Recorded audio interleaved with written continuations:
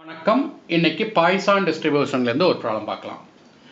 என்ன கொஷின் அப்படின்னா எக்ஸுங்கிறது பாய்சான் வேரியபிள்னு கொடுத்துட்டு. பாய்சான் வேரியபிள்னா அதுக்கு எந்த ப்ரௌல்ட்டி மீன் எது கண்டுபிடிக்கினாலும் அதோட பெராமீட்டர் லாம்டா வேணும். E power minus lambda lambda power r by r factorial இந்த லாம்டா தெரிஞ்சால் தான் கண்டுபிடிக்க முடியும்.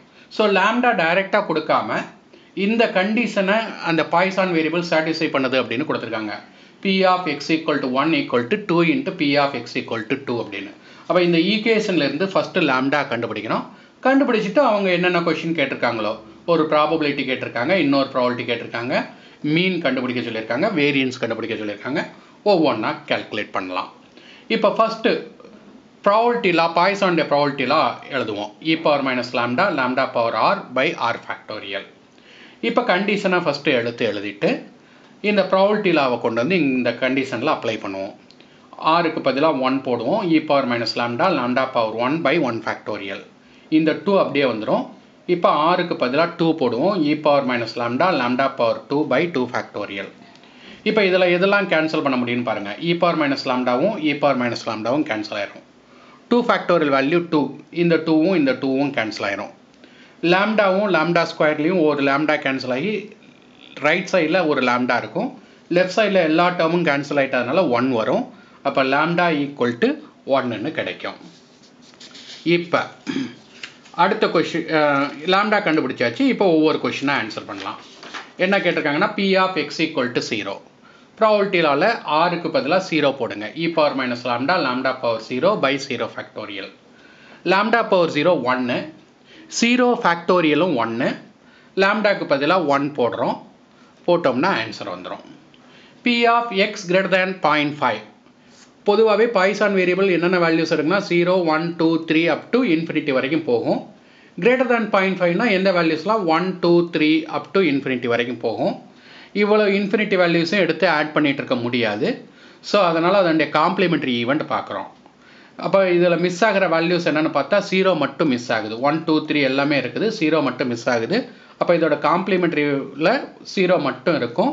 அப்போ ஒன் மைனஸ் காம்ப்ளிமெண்ட்ரிங்கிறதுனால ஒன் மைனஸ் அப்படின்னு போட்டு மிஸ் ஆகிற வேல்யூ மட்டும் இங்கே எடுத்து எழுதுகிறோம் பி ஆஃப் ஜீரோ ஏற்கனவே கண்டுபிடிச்சிருக்கோம். அதை இங்கே எடுத்து எழுதி சப்ட்ராக்ட் பண்ணிட்டோம்னா answer third question P of three by two less than x less than or equal to seven by two அப்போ த்ரீ பை டூவோட பெருசாக இருக்கணும். செவன் பை டூக்கு சின்னதாக அல்லது ஈக்குவலாக இருக்கலாம்.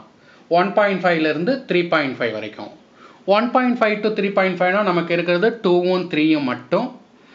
பி ஆஃப் டூ ஆருக்கு பதிலாக டூ போட்டால் e e power minus lambda லேம்டாக்கு பதிலாக ஒன் போடுறோம் one square by two factorial three ஆருக்கு பதிலாக த்ரீ போட்டால் e power minus one one power three by three factorial ரெண்டையும் எடுத்து ஆட் பண்ணோம்னா ஆன்சர் வந்துடும் e of three by two x plus one இஏ உள்ளே கொண்டு போகிறோம் லீனியர் ப்ராப்பர்ட்டி யூஸ் பண்ணி எக்ஸ்பெக்டேஷன் இஸ் லீனியருங்கிற ப்ராப்பர்ட்டி யூஸ் பண்ணி e இஏ உள்ளே கொண்டு போனோம்னா இந்த த்ரீ பை டூ வெளியே வந்துடும் இ e ஆஃப் எக்ஸ் இருக்கும்.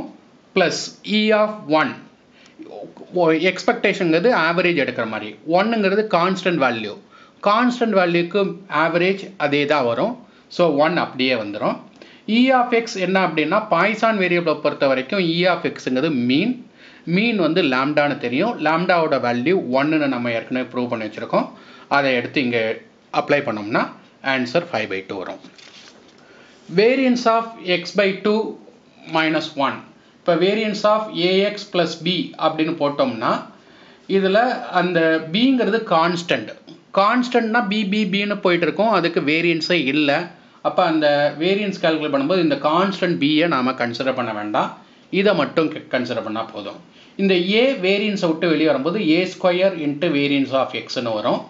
ஸோ அப்போ இந்த ஒன் பை டூ வெளியே எடுக்கும்போது one by four into variance of x வரும்.